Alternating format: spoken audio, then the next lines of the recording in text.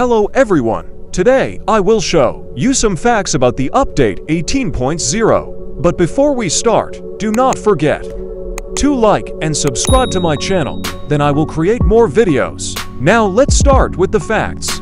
So if you open the menu and slow down the time, then every objects in the menu also slow down.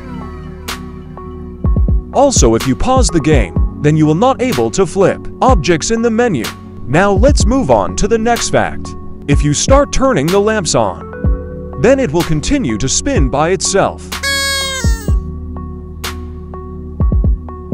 Also in Google Play, they have changed something again. The past name of the game, Melon Sandbox has been returned. And the past icon too. But I really hope that they will change it by the official release. But I'm sure it will be changed soon. Easy! And that's it for today. I hope that you guys enjoyed and understood the facts about the update 18.0. And thanks for watching the video. And also, if you want to see more content, please do not forget to like and comment the video and subscribe to my channel. It's free by the way. And if you want to comment the video, then I will comment your comment and give your comment a heart as well. And I will see you in the next video. Bye my best people.